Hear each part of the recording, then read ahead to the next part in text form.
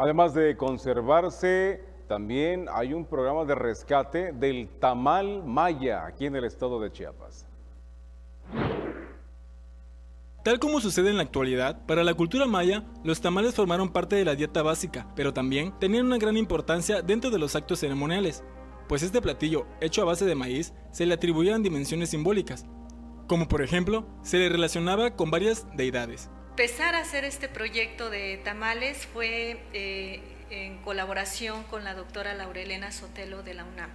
Con ella empezamos a ver cuál es la importancia de los tamales, no solo desde la arqueología, sino más bien desde la antropología social, desde la historia, desde la parte culinaria, desde la iconografía, eh, desde la biología, porque finalmente es un patrimonio biocultural que tenemos en la realización de cada tamal. En ese sentido, el estudio de los tamales incluye muchas disciplinas para valorar este alimento de consumo diario y saber desde dónde vienen. Ahorita estamos elaborando en el área maya todas estas representaciones de tamales o incluso de las excavaciones que se han realizado en, en algunos sitios arqueológicos, las vasijas que hemos encontrado, ¿no? que tienen evidencia de tamales, etcétera. Entonces, desde todas estas aristas estamos analizando los tamales y estamos también rescatando desde la parte biocultural cuáles son los ingredientes que se utilizan para la preparación de cada animal, de cada tamal. Perdón, lo agarré.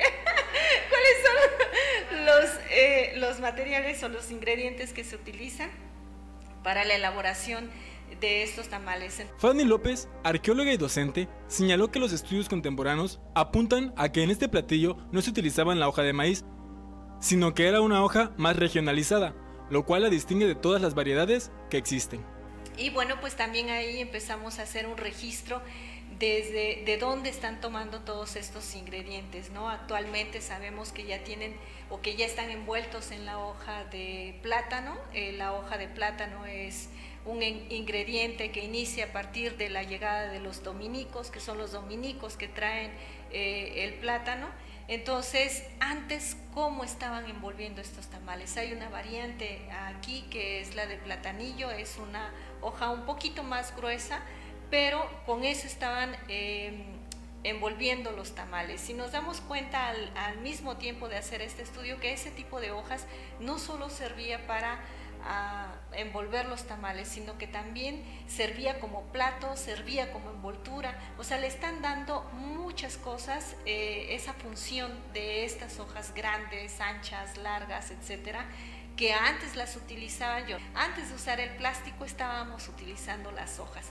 Y eso es interesante, es muy bonito porque estamos haciendo este rescate, lo llevamos a las comunidades, hemos hecho en San Cristóbal, eh, eventos sobre los tamales, invitamos a las tamaleras y que realicen también los tamales que no son comunes. Los... La especialista detalló que los estudios que han realizado sobre el tamal maya ha sido en la región del Palenque, localizado en la zona norte del estado, donde encontraron que este alimento contenía frijoles pero no manteca, por lo que estos elementos, aunado al maíz, hacen la diferencia de toda la gama de sabores y colores que existen de tamales.